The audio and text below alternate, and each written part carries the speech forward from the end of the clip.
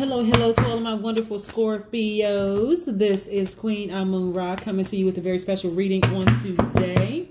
Let me see if I can move these cards around so we can make a little bit of room here before I get started. I hope you all are having a great day today, Scorpios. But then again, I know you are because that's the intention you set, right, Scorpios? Yes, indeed.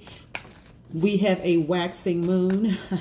yes, coming out of the new moon, we have a waxing moon. I think it's like a, I want to say 22%, 23, maybe more percent. But yes, yes, yes, yes. And what that means for everybody.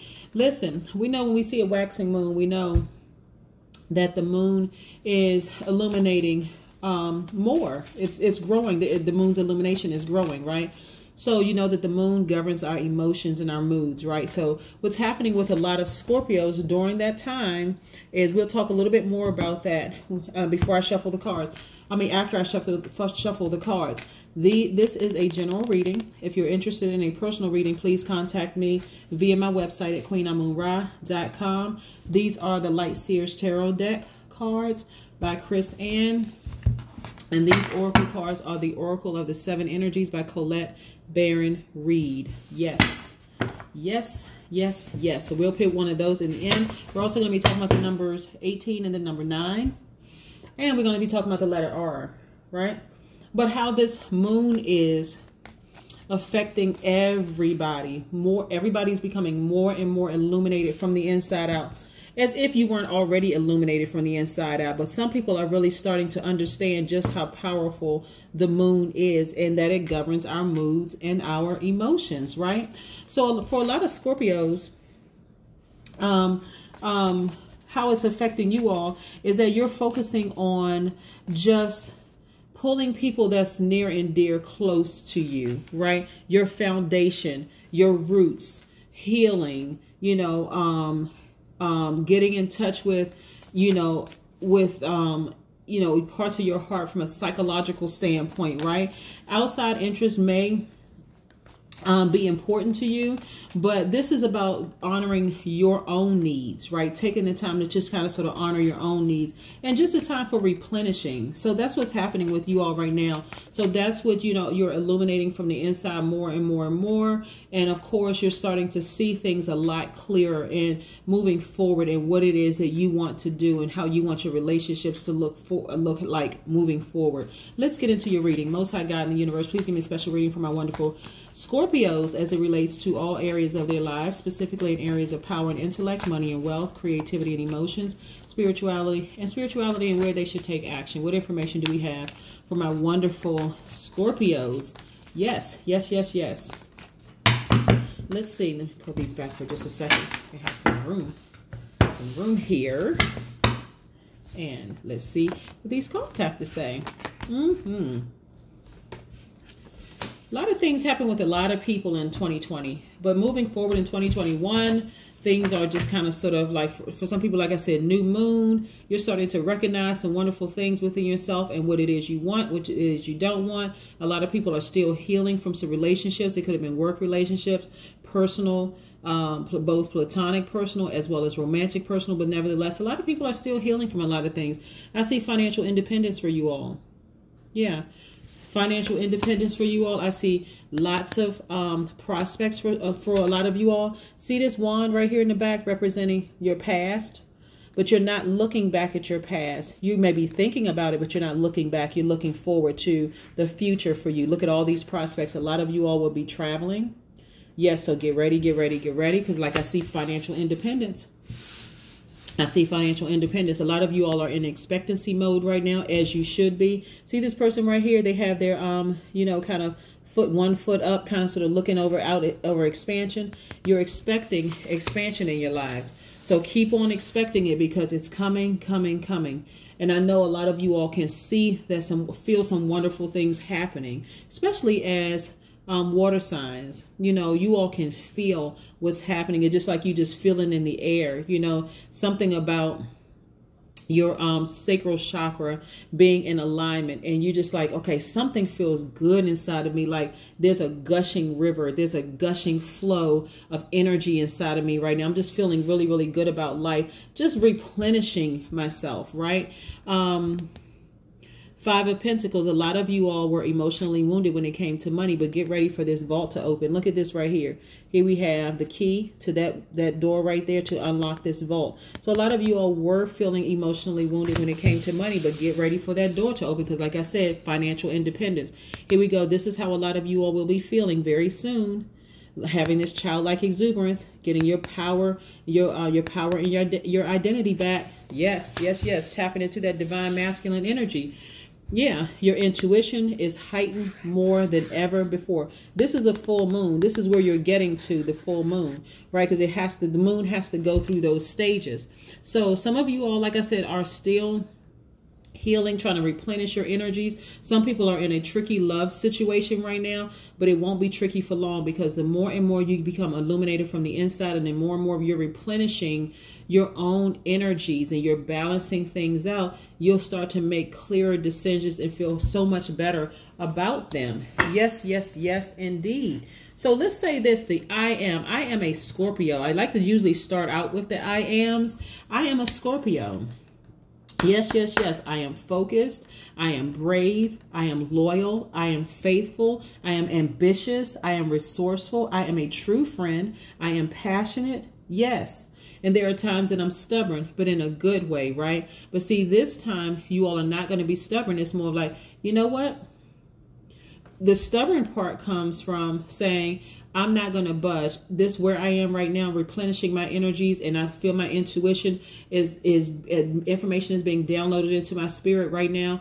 I'm not budging from where I am right now. This feels too great of energy. I know what what lies on the who um what lies before me, right? What's on the horizon for me, right? Let's talk briefly because you all know how I do my readings. You start out started telling the story and then we incorporate numbers in here. So what's happening with a lot of people, when we talk about the number 18 and the number 9, we know that 18 intensifies the number 9, right? So 9 we know is a regenerative number, a rebirth number. But 9 also represents power and wisdom moving forward. Or, I mean, uh, it also represents having a wonderful mind and the ability to retain and repurpose knowledge.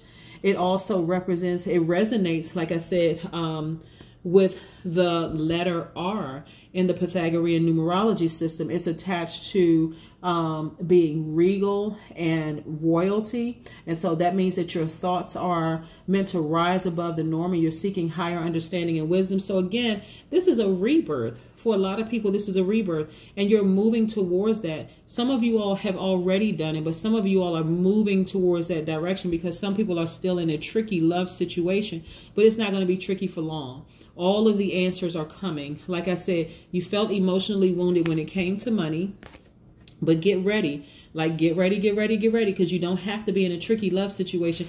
You can make a decision today. You really could make a decision today. But of course, because like I said, you all are fixed signs. You all are very loyal people. Um, but this is about you being loyal to you, what makes you happy. So a lot of people are kind of, like I said, replenishing.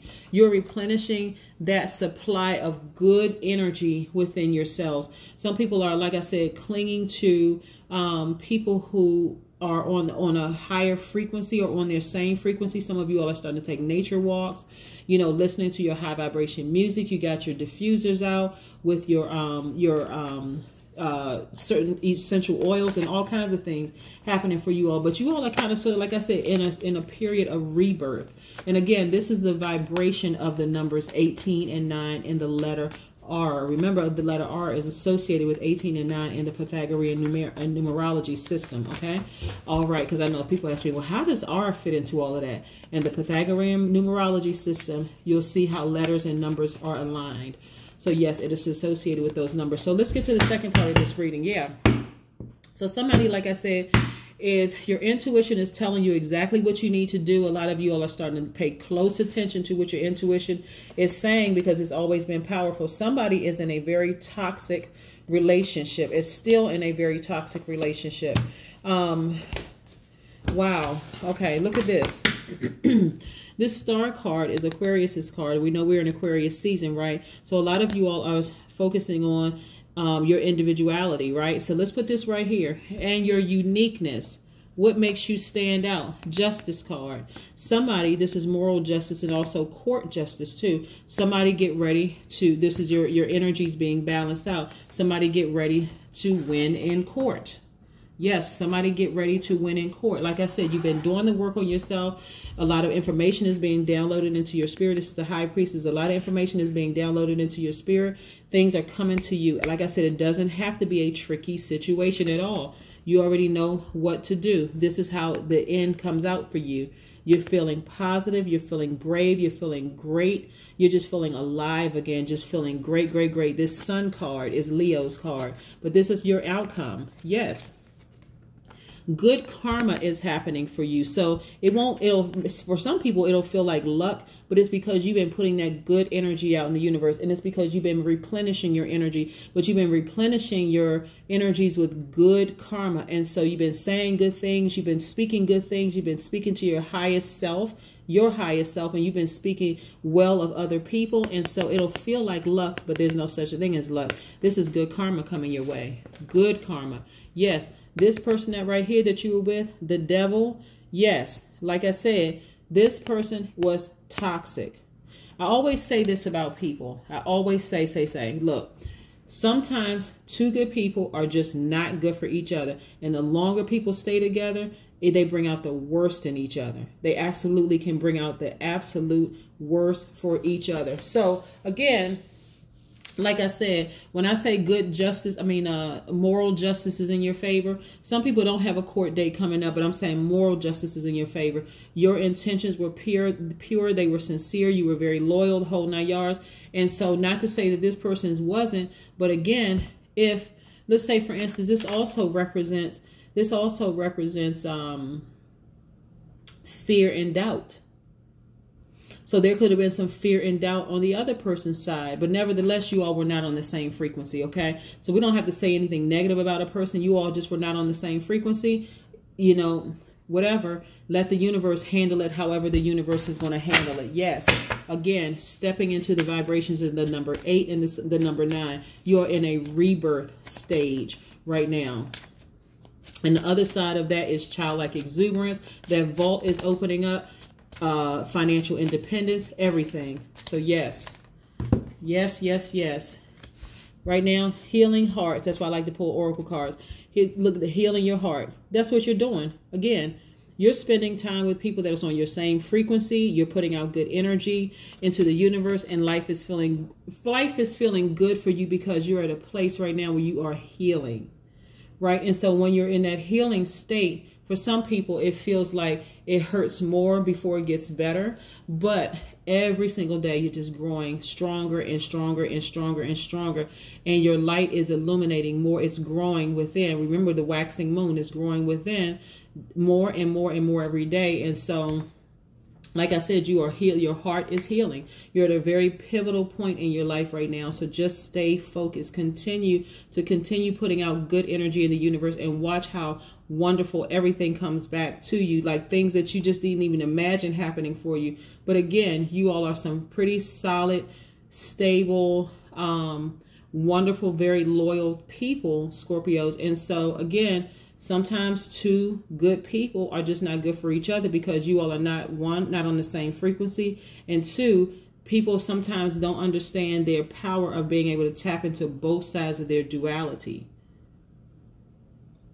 that's extremely important, extremely important. So again, it could have been a situation where you were over nurturing a situation where you were in take, involved with a taker. The taker could have been on the divine feminine or the divine masculine side, or they may have thought that about you, but nevertheless, things work out in your favor. So congratulations to you, Scorpio. That is what I have for you, Scorpios.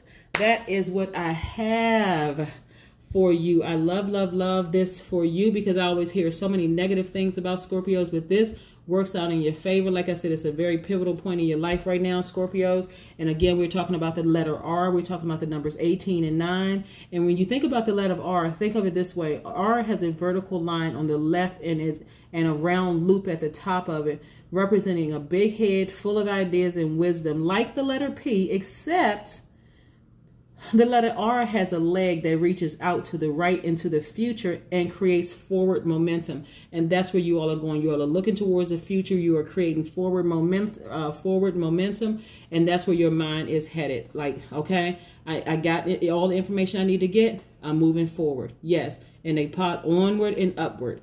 That's what's happening with you, Scorpio. So I hope you all have a fantastic day. But then again, I know you are because that's the intention you set. Bye.